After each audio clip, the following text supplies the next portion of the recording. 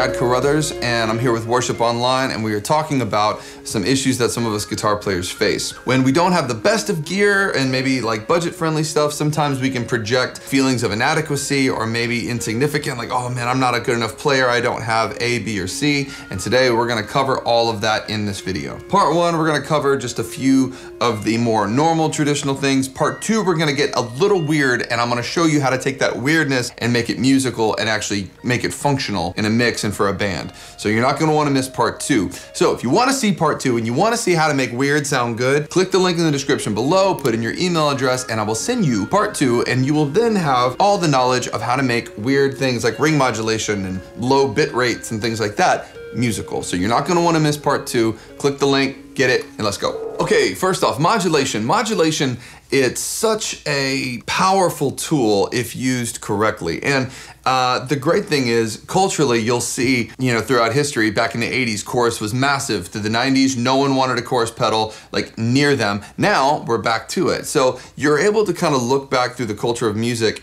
and pinpoint like oh man this was huge then this was huge then this was huge then uh, if you look at like old you know surf music from the 50s tremolo was really big and then we started getting into uh, some of like the rotary stuff you know clapton was using leslie style speakers and and all that. It's just a way of getting your guitar to sometimes sound not like a guitar, but also to have an even more creative voice. So modulation is nothing to just glaze over. I really think it's a powerful tool and I, and I want to hopefully break some of this down for you guys today.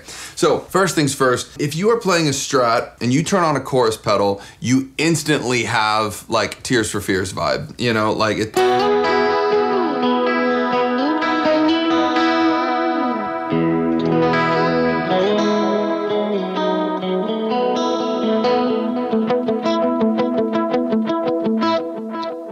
Know, you put it in the, the quack positions. And it instantly starts sounding kind of lush.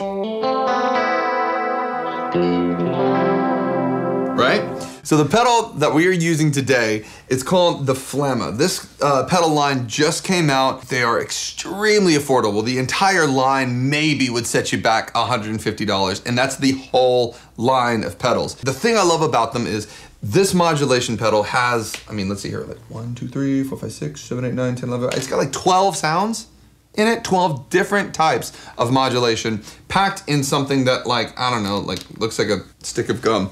It's pretty amazing. So what I'm using first is chorus. Now, chorus is extremely popular in kind of modern music right now. It kind of instantly takes your guitar, makes it sound dreamy. Um,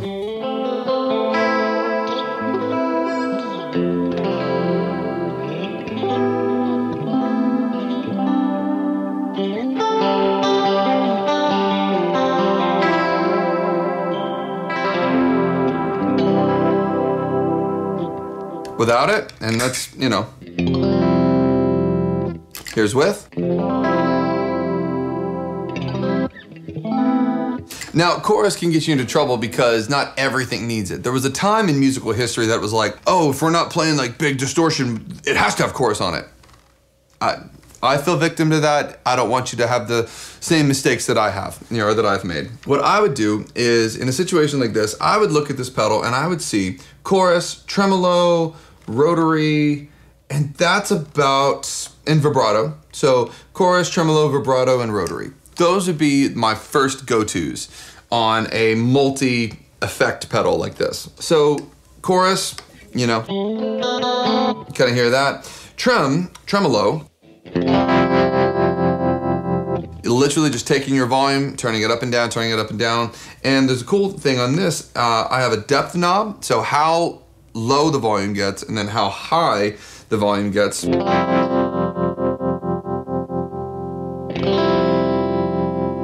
So it can be nice and subtle,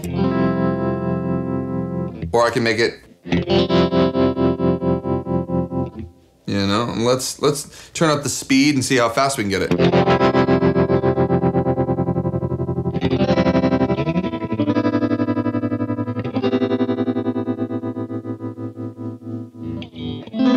Almost sounds like an organ when you do that, when you turn up the Leslie.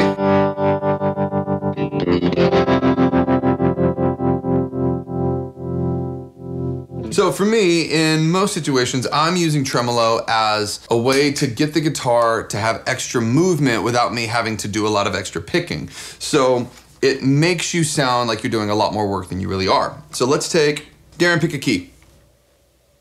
F. F, all right.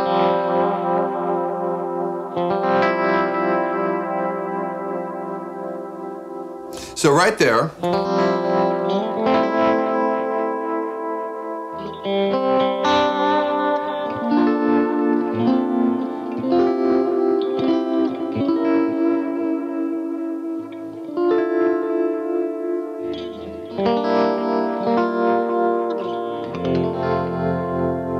So I'm just playing basic chords right there, and between a little bit of delay and that tremolo, all of a sudden my guitar had a lot more character to it, and I didn't have to like pick, pick, pick, pick, pick, pick.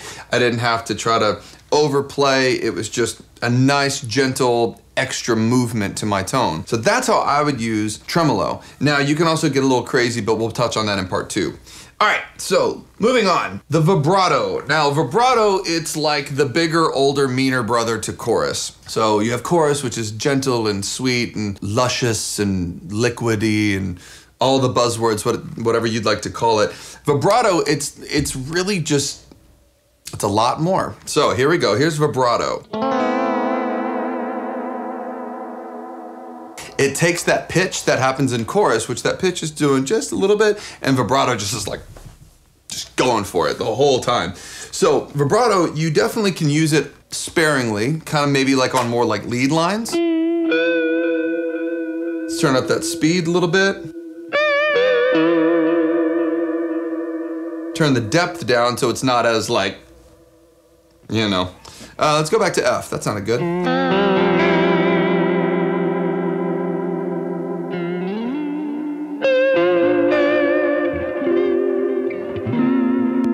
Hear it without delay.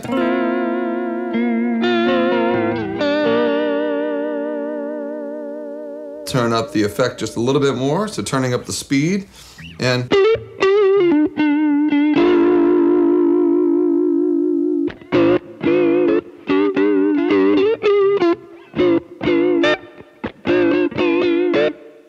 know, so I mean, you could use it as like single note stuff, which is killer. Like,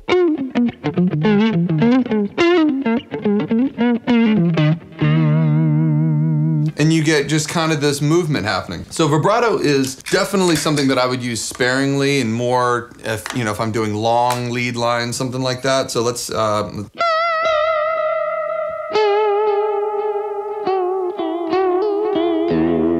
a little too much. Let's take it down.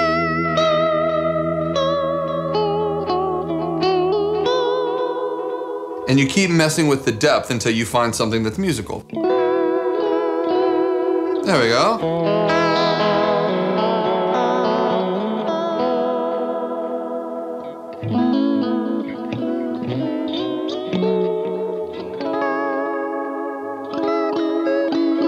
Yeah. So that's how I would use vibrato. Now, right next to it in this situation is called rotary. Pretty much same thing, but it's simulating a spinning speaker. So you kind of get that swirly, spinny sound. So it's just not as dramatic. It's not, it's not changing your pitch as dramatic as the vibratos. This was actually the sound that I used in the audio sample. I don't know if uh, we can reference that.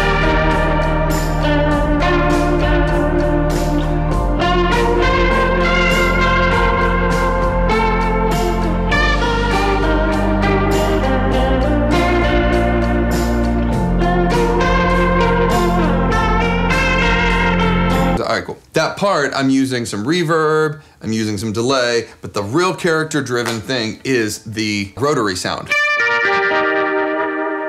You know, so.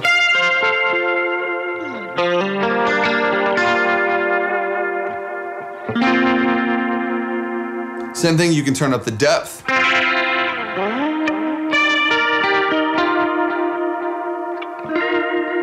And you're not gonna get crazy pitch, you're just gonna get more dramatic effect. It almost sounds like it's spinning. Well, the actual mechanics used to be a literal spinning speaker to create this sound for organ players. And guitar players were plugging their guitars into organ, you know, Leslie's. And someone was like, we got to put a stop to this. We got to make a pedal. So, whoever that was, I'm very, very appreciative.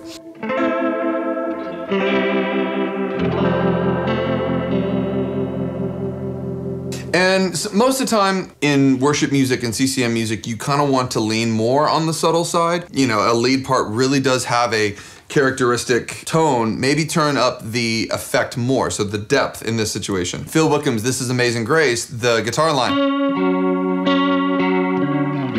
So,